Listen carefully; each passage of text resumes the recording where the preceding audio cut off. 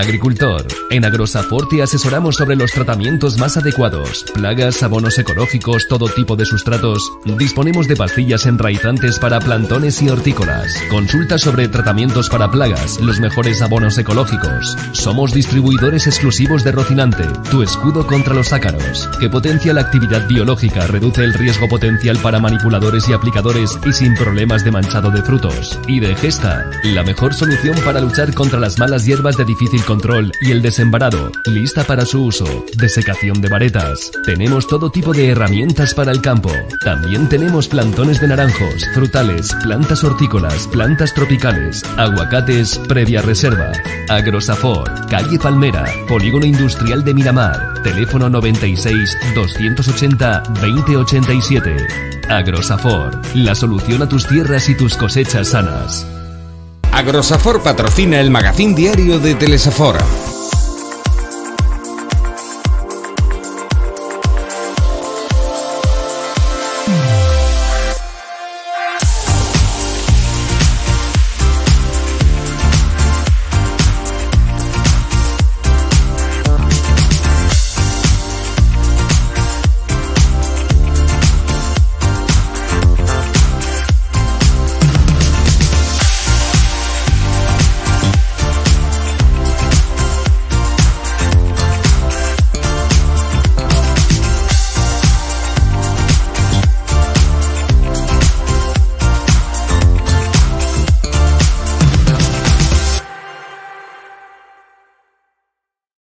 Reines eh, medievals, eh, sopars a l'edat mitjana, cartografia medieval. Molt bona vesprada. Estem així en l'Hotel RH Bairén, en Espa de la platja de Gandia. Els acaba d'anomenar alguns dels temes eh, que han ocupat aquesta programació del cicle de conferències eh, que s'han realitzat durant aquests darrers mesos en el monestir de Santa Maria de la Valldigna, ubicat en Simat, en terres de la Valldigna. Eh, la veritat és que l'edat mitjana és una època històrica que ens atrau des de diferents vessants. Acaba de nomenar-ho, eh, cartografia, els mapamundis, com es disse dissenyaven, com es dibuixaven, eh, què menjaven, eh, també com vivien en l'edat mitjana, eh, quin era el paper de les reines en aquesta època. Tot això eh, s'ha tractat en aquest cicle de conferències que ens eh, arriba i ha finalitzat ja este cicle ja està preparant-se en un segon cicle des de la Mancomunitat de la Valldigna i des del de grup ARCA. Precisament el convidat que ens acompanya per a parlar de tot el que s'ha desenvolupat en aquest monestir de Santa Maria de la Valldigna és membre del grup ARCA i és part la representació d'esta entitat que també anem a conèixer. Frederic eh, Aparici. Frederic, molt bona vesprada. Molt bona vesprada, Daniel. Bueno, membre del grup Arca, eh, mm. ja hem parat amb tu en, en Ràdio Gandia 100, en Hoy por Hoy Gandia Magazine, sempre que s'acosta bona de cites en Monestir, eh, professor d'Història Medieval en la Universitat de, de València, eh, lligat a la Universitat de València des de 2007, des de, no? Sí, com a becari predoctoral, vaig -huh. començar allà, i, eh, i bueno, he anat, he, estat a, he fet estades a l'estranger, he estat de postdoctoral a la Universitat de Lleida i finalment des de fa ja dos anys estic vinculat com a professor docent a, al Departament d'Història Medieval de la Universitat. Mm. Comentava jo que l'edat mitjana, de la qual anem a parlar des d'aquests diferents vessants, la cartografia eh, medieval, el mapamundi, va ser la conferència que va tancar no, este, este primer cicle. Sí, va ser a càrrec de Ramon Josep Pujades, que treballa al Museu d'Història de la ciutat de Barcelona, tot i que ell és d'origen valencià, i precisament va ser la, la conferència més, més llarga, es va estendre entre, sí. entre intervenció i, i preguntes, doncs, això, més d'hora i mitja, i la veritat és que va ser el colofó a un cicle que eh, ens, ens ha satisfet la resposta del públic, perquè fins i tot en aquells casos que per les dates, per la climatologia, teníem por de, de com respondria el, el públic, doncs sí. això, fins i tot aquests dies han sigut realment eh, una sorpresa i una satisfacció. Varen començar eh, molt forts perquè Robert Archer és tota una eminència, professor, al, a, professor jubilat al King's College de Londres i tota una referència en el món d'Ausias Mark i clar, arribar allí i veure ja que hi havia gent esperant i després com se va omplir la sala de l'Almancera del monestir de Santa Maria de Valldigna, que per al qui no ho conega doncs, ha d'anar i comprovar que és una sala ben gran, doncs com dic, veure aquesta sala de gom a gom va ser tot un goig, una satisfacció professional i, i en el meu cas com a, com a saforenc personal també. Ah. Eh, Saforenc, tu és de, de Gandia. Eh, la veritat és que és complicat eh, la tria de, dels temes que s'han posat damunt de la taula, que ara anirem recordant, eh, perquè s'ha parlat de cartografia, de les reines medievals, de sopars que menjava la gent en, a, en aquella època. Eh, s'ha parlat també de les relacions entre els senyors monàstics i els pobladors musulmans de la, de la Valldigna. Eh, molts temes, l'organització de les armades reials eh, en època d'Alfons el Magnànim, eh, haurà estat complicada la tria de, dels temes. Mm, sí, sí, perquè, clar, nosaltres l'objectiu és ens traslladar al, al públic la investigació que en el marc de la Corona d'Aragó eh, està fent-se en diverses universitats. Llavors, això era la primera variable, no? vull dir, que fora una recerca actual, però per un altre costat també volíem portar a, a primeres espases, a gent consolidada i que eh, això que està fent, com, com Robert Archer, pues, treballs de, diguem-ne, de, de cloenda o de, o de tancar un, un cicle, no? I que representaven pues, això, la seva aportació, la seva, el seu treball eh, historiogràfic. Per descomptat, sí. volíem que fora un cicle paritari, vull dir que hi haguera una representació eh, paritària d'investigadors i d'investigadores, que fora també equilibrat des del punt de vista de les edats. Vull dir, eh, si portes primeres espases, eh, tens l'èxit garantit, però també hi ha que donar cabuda i obrir camí per als que venen per darrere. No? I finalment també la perspectiva territorial, que no tots foren de, de casa o, o tots forasters, no?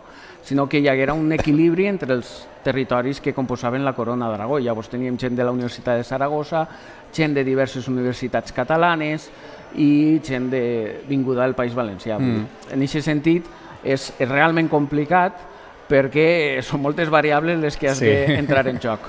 bueno, eh, professor d'Història Medieval, tu suposa que eh, tu i els companys del grup ARCA, ara en parlarem de, de la mhm. entitat, mm -hmm. no? com sorgís i què és no, realment. Mm, eh, però tu sabies molt bé eh, també hi ha que, que, que atraure l'atenció, cridar l'atenció. Aleshores, no només amb els ponents, eh, sinó també amb aquestes temàtiques, perquè l'edat mitjana, eh, tu consideres, creus que és suficientment coneguda o cal difondre, treballar més per a difondre esta, este moment històric?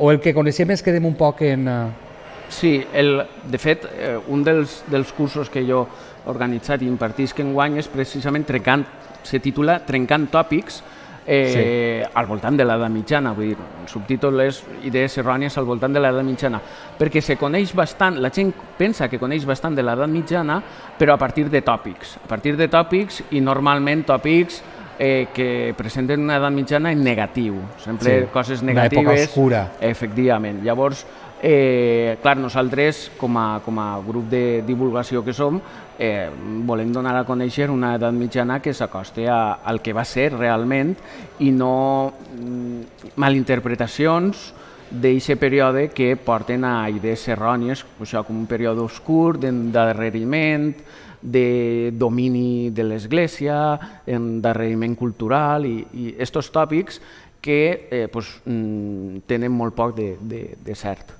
I què és realment l'edat mitjana? Eh, bueno, quina la... és l'aportació d'aquest moment històric? Eh, Més destacat, suposa. L'edat mitjana, mitjana, jo, eh, mig en broma, mig en sèrio, sempre dic que tot s'inventa l'edat mitjana. Vull ah. dir, si aneu a Salamanca, eh, veureu l'astronauta ja allí inventat. En sí, eh, efectivament. N'hi ha representacions en manuscrits del famós Yoda de Star Wars. Vull dir, hi ha una representació en un manuscrit que és un Yoda tal qual. Eh, són casos anecdòtics, de broma, mm. però la, la veritat és que eh, l'edat mitjana és el, el naixement de, de la societat occidental. És veritat que hi ha un substrat eh, que ve de Roma, que ve de l'antiguitat, però aquest substrat que tenim avui en dia arriba pel filtre de l'edat mitjana, no ens arriba directament. No hi ha una continuïtat des de Roma fins als nostres dies. De tal manera que, per exemple, la xarxa urbana europea és una xarxa urbana creada eh, a moltes ciutats que en l'antiguitat no existien i que se creen o se refunden uh, durant el període medieval. Mm -hmm. Clar, perquè el període medieval és un període molt ampli que abasta des del segle V més o menys fins al segle XVI eh, o, o finals del segle XV segons els territoris. No? Llavors, eh, és important que la gent conega aquest període perquè al cap i a la fi som com som eh, per tot el que vam ser en aquest període, més que no eh, cap altre. Ah, eh, tu tens molt clar eh, que el teu futur era ser professor docent eh, per a parlar d'aquest moment de la història medieval? O la cosa va, el va portar... No, és veritat, és veritat que, que si faig la mir mirada enrere, eh, crec que eh, aquell estudiant de, de primera, ja pel 2000, eh, tenia certa preferència per el període medieval. Mm. I després els professors que, que vaig tindre, en aquest sentit, mm, pues, mm, eren d'una qualitat personal i humana eh, que cridaven l'atenció dels alumnes. Sí. Mm. Eh, hem, estàs parlant de Robert Archer, eh, que va obrir este, mm. este cicle, que ara en parlarem, que el segon cicle arribarà també, està, està previst. Però en març, en aquesta segona cita, hem de parlar d'un investigador, eh, d'ací de Beniopa, mm. Ferran García Oliver, per cert, Premi Grupo Radio Gandia, la categoria d'investigació, eh, que va parlar sobre les tenses relacions, allò de tenses relacions ja crida l'atenció, atrau. Mm tenses relacions entre els senyors monàstics i els pobladors musulmans de la Valldigna durant l'edat mitjana. Suposa que eh, parlar de Ferran García Oliver són paraules majors. Home, i tant, i tant. Eh, clar, un cicle d'història mm, medieval fet a la Valldigna havia de comptar sí o sí amb la presència de Ferran García Oliver per, per moltes raons. Una, perquè efectivament, com te diades, calia compaginar tots aquests equilibris d'un historiador eh, valencià, d'una figura historiogràficament eh, consolidada, vull dir, amb sí. un pes dins de la historiografia no sols valenciana, sinó eh, en el sentit català, en el sentit ample del terme, i, eh, i clar, Ferran sempre mm, té una oratòria de fet, ell és dels, el que tenia en ment quan te parlava dels mestres, no? Vull dir, té, mm. té una oratòria que enlluerna i que, i que enganxa. Llavors, eh, ens va presentar un, un cas particular de, de la mort d'un monjo que eh, bueno, pues, a través de la documentació que ell en el seu moment va, va treballar doncs, mm, va, va contar el que, el que representava.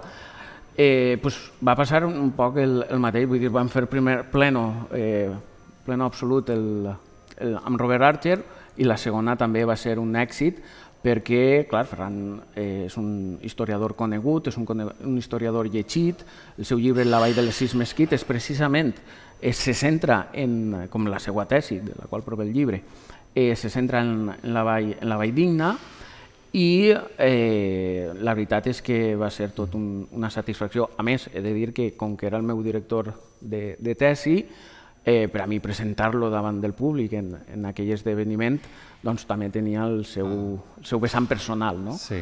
I la veritat és que va anar, la recordo molt, molt bon record, va anar molt bé i, eh, i no res, vull dir, el segon dia, vull dir, si el primer dia havia dies, ha sigut casualitat, no, no, el segon dia també, la segona edició, la segona sessió també eh, va, anar, ah. va anar bé. Eh, I tot el monestir de Santa Maria de la Valldigna, eh, ahí tenim el recolzament absolut del monest, del, de la mancomunitat de la Valldigna sí.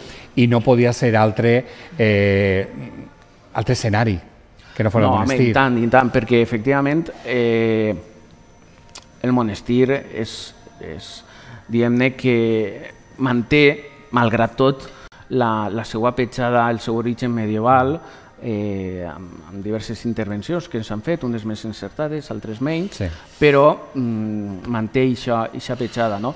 Llavors, clar, quan a nosaltres, al grup Arca, li, li contacta el, la gent de la mancomunitat, mm, és una sorpresa, de dir, ostres, i és una responsabilitat, és una responsabilitat i bueno, finalment doncs, plantegem aquest mm, programa que, que, com dic, eh, més enllà dels noms, combina totes aquestes variables, tots aquests vessants, d'edat, de territori, de sexe, de gènere, llavors eh, hi ha un recolzament, no? te, sents, sí. te sents recolzat i a mesura que van passant les, les sessions, no? les, pues, és com un xicotet d'examen no? I, i el públic respon, llavors el candidat, el tema, eh, pareix que, que encaixa amb, amb la demanda del públic. Ah. I la veritat és que, com deia, fins i tot eh, el, en el fred més, més intens o, o quan ja començava a apretar la, la calor, eh, la gent continuava assistint. Bona resposta. Bueno, recolzament de la Mancomunitat de la Valldigna, recolzament de la Generalitat Valenciana,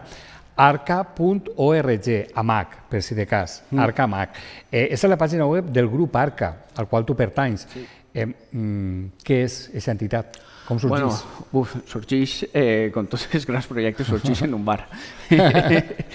eh, bueno, eh, pareix que no, però ja portem 15 anys fent, fent arca, no? que, que suposa que sobretot la gent més major ho recordarà, no? que el, el fet este de llançar-se pedres els uns als altres, o així a la comarca nostra, a lo millor més taronges, sí. eh, però desgràcies pobres llauraors, però la veritat és que portem 15 anys doncs, això, fent recerca i fent divulgació, divulgació de la història medieval valenciana i sobretot de divulgació de la nostra pròpia recerca, perquè quan, quan sorgeix el grup Arca en 2008, eh, doncs, som tots, eh, o gairebé tots, becaris predoctorals que estan iniciant-se en el món de la, de la recerca historiogràfica mm. i que a través de, de les xarxes, llavors en aquell moment estava molt de moda el tema dels blogs, a través d'un blog donem a conèixer les nostres investigacions i el que anem, anem treballant, no? pues anàvem a congressos, si feien conferències, eh, de fet, en clau més personal, va ser a través del blog com vaig donar a conèixer el canvi la mala datació que hi havia fins aleshores de la fira, del privilegi de Fira de Gandia, que si uh -huh. recordes pareixia que anava a fer-se en, en 2010, però ja havia estat una lectura errònia del document i, i en realitat era 2011 i allò va haver de recelebrar sí. el privilegi de, de Jaume II. No? Llavors, eh, bueno, hem, hem anat creixent, eh, personalment i historiogràficament, acabar les nostres recerques, eh, convertir-se en doctors, estabilitzar-se mínimament o, o aconseguir eh, contractes de, de més llarga durada mm. i eh, fruit de tot aquest treball continu pues, vam publicar eh, tres llibres. El primer portava per títol Ferarca, eh, Històries medievals valencianes, que va ser tot un èxit, que és allò de que te pilla per sorpresa, no? Eh, I de fet, gràcies a aquest èxit, doncs, l'editorial ens va encomanar un segon volum, Ferarca uh -huh. 2, més històries valencianes, i el tercer era específic sobre la ciutat de València, sobre barris eh, més desconeguts de la ciutat, Russafa, Campanar, en el que pues, això, contem la, la història d'aquests barris en un llibre que porta per títol La València contada, la València contada. Uh -huh. I eh, bueno, està en valencià i en, i en castellà. I res, continuem amb això, tu actes, conferències. Fa unes setmanes vam estar a la Jana en una conferència sobre fires medievals i, i la Fira de la Jana. Hem organitzat el, el cicle este de divulgació. Hem organitzat també un curs d'història medieval sí eh, per a estudiants de, de doctorat, per a mm. futurs historiadors i historiadores, i la veritat és que mm, pues això, a base mm. de, de treball podem dir que ens va bé. Hi ha bons resultats. Eh, aprofundim un poc, es queden pocs minuts, estem en la recta final del programa, és el curs d'especialització d'història medieval eh, per, a, per a estudiants, sí. eh, que realitza també eh, allà en el monestir. Efectivament. Es du a terme el curs. Eh, a més, eh, Ese curs ja venia fent-se temps enrere, però l'heu agafat, li heu pegat la volta, l'heu reorganitzat. Mm. No sé si dir que eh, li heu donat un altre format, no anem a dir l'heu millorat per a no ferir sensibilitats, eh, però eh, important, eh, perquè a més té un impacte en el, en el territori perquè ve gent, té allotjament, mm. dinací i tot eh, en el territori de la Valldigna. Sí, això és, això és molt important perquè tant les conferències eh, com sobretot el curs que, que dura eh, dos dies, ah. és molt, molt concentrat, és un curs intensiu per a estudiants de darrer curs o, o sobretot estudiants de doctorat de tota Espanya que eh, durant aquests dos dies venen, s'allotgen a la Valldigna,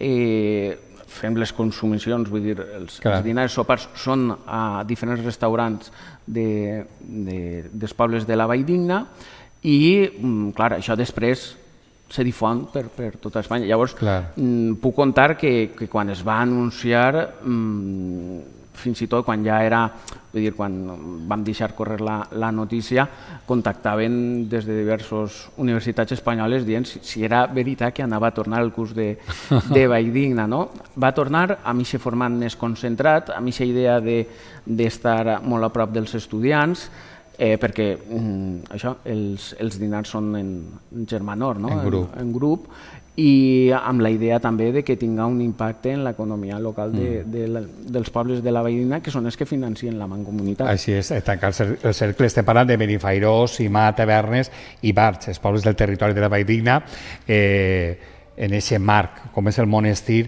de Santa Maria que està en, en Simat, i aquest curs continuarà i el segon cicle ja per, per últim, eh, perquè este primer cicle va començar en febrer, ha finalitzat ara en, en novembre.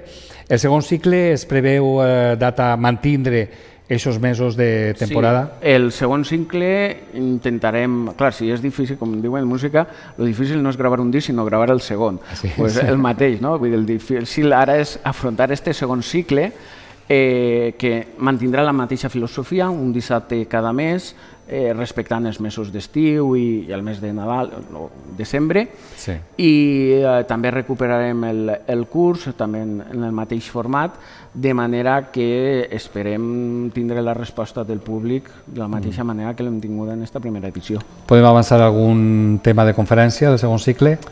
Algun tema... Bueno, és que encara no hem tancat la llista, ah però sí que... Alguna idea algun... que no estiga tancada. Sí, sí, la idea és tractar temes d'actualitat i eh, puc avançar que tenim primeres espases garantides. Mm. No diem noms. No podem dir noms, però... Fins però... que no se signe o es tanque. Sí Perfecte. Eh, pues Frederic, un plaer sempre. Bueno, tota aquesta informació en arca.org, ahí tindreu tota la informació, tant del segon cicle que està al caure, després de les vacances de, de Nadal i de canvi d'any, com d'aquest curs d'història medieval per a, per a estudiants per a continuar especialitzant-se en aquesta època històrica.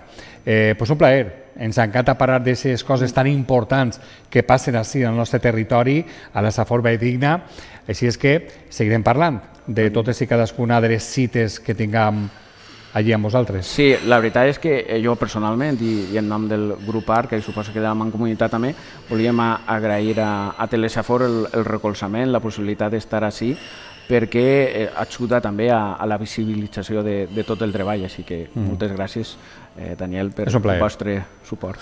Parlar de la feina ben feta. Mm. Frederic, moltes gràcies. Fins moltes una gràcies. pròxima.